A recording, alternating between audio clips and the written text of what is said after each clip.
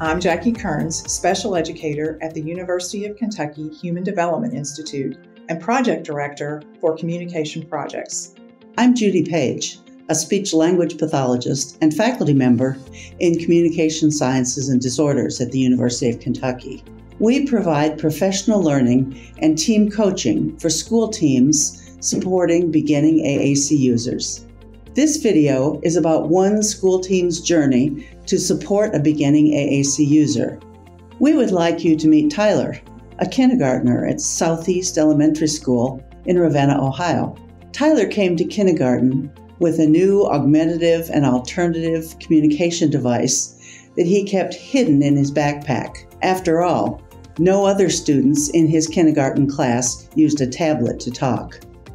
They used their voices, words, gestures, and facial expressions to communicate, but nobody else used a talkie.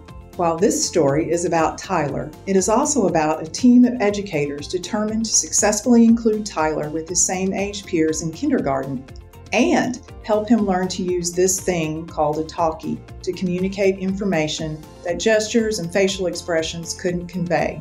The video clips in this story were collected at the end of second grade after three years of team meetings, including virtual learning caused by the pandemic, natural transitions from kindergarten to first grade and first grade to second grade, and changes in support personnel. We've highlighted what the individual team members learned from working together as an interdisciplinary team.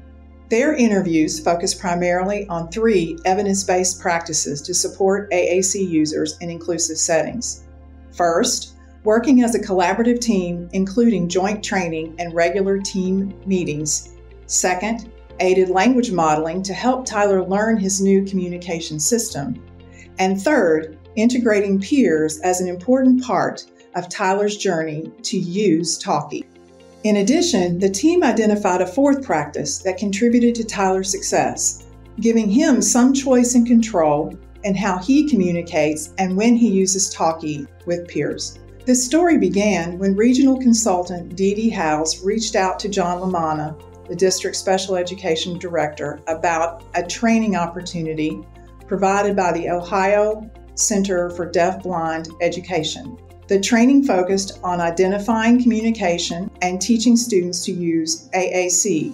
After the training, school based teams could choose to participate in monthly team meetings, facilitated by training leaders Dr. Kearns, which is me, and my co trainer, Dr. Judy Page. These team meetings were to be focused on helping the team identify strategies for helping a selected student develop functional communication skills Tyler's team volunteered to participate. This video is their story. So let's meet the members of Tyler's kindergarten team and get their initial takes on Tyler as a kindergartner, as well as their experience teaching Tyler to communicate and working together.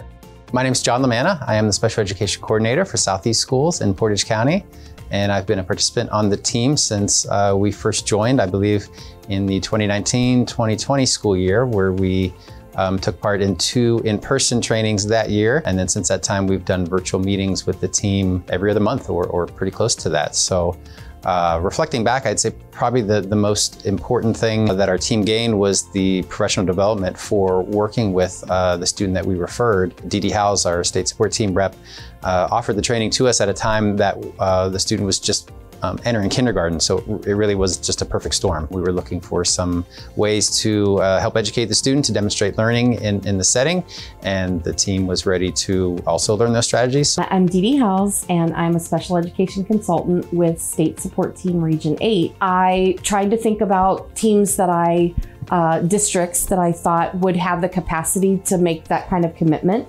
to monthly meetings and just from my knowledge of the school districts that I work with, thinking about, you know, the teams that would be able to easily identify a target student where I thought they would have buy-in and would be able, as I said, just to commit to the process. And so um, I, you know, knew some of the staff out here at Southeast, know their special ed director, and I knew that they had students who had pretty significant communication needs. And so I just reached out and asked them if they would be interested. I explained what the project would entail, uh, the work that we would focus on. And I really tried to highlight how the tools that, that they would acquire as a team and the process that we would develop could be replicated to help other students. So although we were going to target one student, the goal is to be able to replicate that over and over again. And so the, the impact would be long term. And that was sort of my elevator pitch, if you will, to, to get them to participate. So um, initially, Ty, we started when Tyler was in kindergarten. And so those of us who were on the project from the very beginning, um, you know, I, as I said, I would come in person pre-pandemic, and um, and Tyler was very uh, apprehensive, did, did not initiate communication, um, was not necessarily fond of having, you know, strangers uh, come. And so when I would um, communicate with him and I would greet him, um, he, you know, he he's a, has a very great sense of humor. He's a fun, fun guy. Um, but he was a little bit apprehensive. I'm Luann Nowak and I'm the speech and language therapist at Southeast Schools and I work with Tyler um, in his communication device. You've been on a team for three years. Three years. Um, and really, it's been an amazing experience. When I first heard about Tyler coming to kindergarten from preschool, I'd only had minimal experience with students with communication devices, so I was a little bit nervous and I knew that I could could learn how to use it and that I could help him with his communication skills, but there's always more that goes along with working with the child than just their communication and and that part was scary and so um, we were asked to be part of the communication competency team and we went to um, a training in Columbus and then had monthly sessions, um, coaching sessions, which really helped with um, knowing what to do. Well, I'm Kristen Clark. I'm the regular education teacher. Tyler was in my kindergarten class. Um, we got kind of, it was short lived because mm-hmm. COVID um, happened. And uh, so we kind of had to transition to um, an online format and do the best we could in that situation. But it was definitely a learning year, and it was neat to see how he would communicate, but also what our goals were and how we can kind of push forward with things that he wouldn't necessarily go to on his own. Mm-hmm. Um, so it was definitely a learning curve, but we worked together, and I felt like we we made strides. Mm-hmm. But a lot of times it was up against you know his will versus what our goals were for him. And I'm Angie Briggs. I'm the intervention specialist, and I had Tyler two years ago back in kindergarten with Kristen. So just getting him to use it and it becoming part of his daily routine was kind of a big goal at the beginning.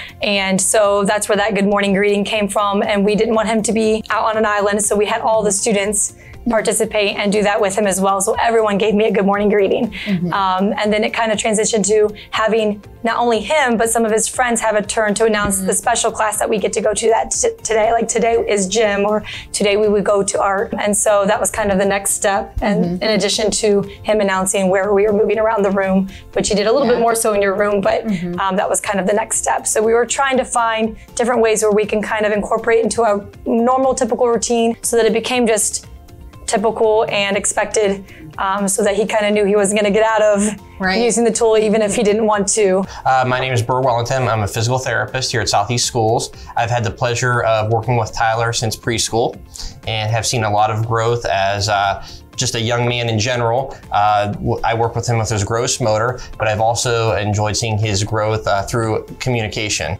Tyler's mom, Rebecca, had this to say. I think it has been a huge improvement for Tyler. Having the communication, um, being able to figure out where um, we needed more focus as a team with either the device, with his work at school, whatnot. It is just help build upon a better um, understanding and a better um, physical aspect of where he is and how to help him. I believe his knowledge of electronics to begin with. He has always been big with his iPad or um, a computer. So having the Talkie, as we call it, the AAC device, has helped maneuver from your apps on your iPad to touching the what could look like apps on Talkie to help build more strength in utilizing the device. I wouldn't change it for the world. Um, my name is Stacy Wills. I'm the teacher of students with visual impairments and I came on the team um, not during the initial part of the communication force, but maybe I think the end of their first year. And the team had questions about um, Tyler's vision, and you know he was having a difficult time with the communication device. And so I did an evaluation to determine, okay, but can he actually visually access the device? And we found out, yes, he can access the device um, but he needed some additional supports so that he could gain some visual recognition of the icons and the print. So I think when you get to know Tyler, you see that he does things very well in isolation. So now it's about making it more general and helping him to generalize the recognition of that print from isolated time with me or isolated time on the device to, okay, but we see print throughout the environment and we see print in reading and print is literacy. Um, he definitely has made some strides in the fact that he was very um, dependent on similarity and everything had to remain the same. And now we're starting to see that he's generalizing his understanding of print and letter formation. Dr. Page will describe our monthly coaching meetings. In our role as team facilitators, Dr. Kearns and I led monthly half hour coaching meetings with Tyler's team using distance technology. We had great attendance at these meetings. In addition to building staff, Dee Dee Howes, the regional consultant, served as the team coordinator, and John Lamanna, the special education director, brought district leadership and resources to the team. Now remember, when we started this journey with Tyler, he was hiding Talkie in his backpack to avoid having to use it. If a school team doesn't know how to encourage AAC use, what often happens in a situation like this is that the AAC device remains in the backpack, literally or figuratively, and doesn't get integrated as a viable communication mode. Our goal was to help Tyler's team avoid this undesirable outcome by helping them identify and implement strategies that would be effective in helping Tyler learn to use his talkie. In our monthly coaching meetings, we helped Tyler's team reflect on his progress in the past month, offered suggestions for them to consider if there were problems, and assisted them in developing an implementation plan for the next month.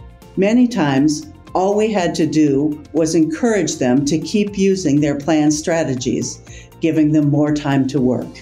Tyler's team faced unexpected challenges, with COVID intervening just as they were getting started. Despite the challenges, the team persisted for three years, incorporating new teachers and support providers, changing teachers as Tyler changed grade levels, and successfully bridging year to year transitions which for most AAC users can be problematic.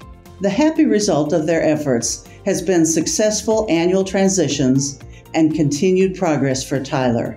Progress made despite the challenges presented by COVID. This is a real credit to Tyler's team and a testament to their dedication and persistence, and to Tyler himself. Let's hear from the new team members about their experience being added to an existing team. My name's Kelly Simmons. I'm a second grade teacher at Southeast Local Schools. I work with Tyler. I work with Tyler um, when he is in my classroom. He is in there for whole group activities. He is in there when we're doing our workboard activities, which is when ind individual students work on their own work. If he needs help, he will ask peers to help him because at that time I'm pulling other students and he is not able to ask me for help. He needs to be able to ask them for help and they normally walk him through it. Typically, he doesn't use his talkie in my room. There are times that he will use it, um, more during math or if he wants to show me something. If um, we are doing a writing assignment, I will ask him to use his talkie instead of trying to figure out what he says because I can I know what he's saying. Hi, I'm Mrs. Krieger, and I'm an intervention specialist, and I work with Tyler, who uses his AAC device.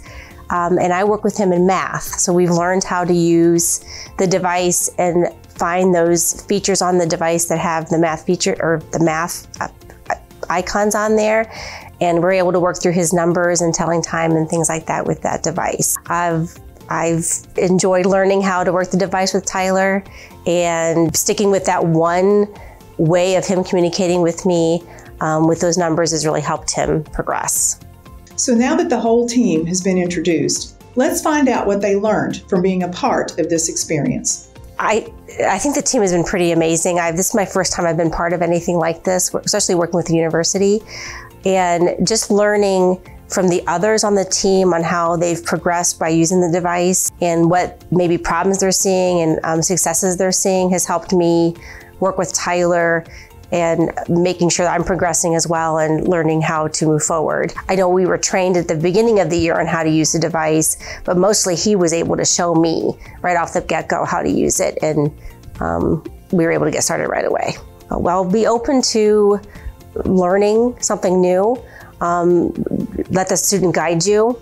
They then they have ownership of they, they feel like the big cheese, I guess, when they comes to showing you how to do something. This experience of being a participant on the team has been phenomenal. It gives you more advantages of having more of that home to school, school to home communication within the team. And not only do you have, I know every school is different, but every nine weeks you can get a progress report. At our school, we do that.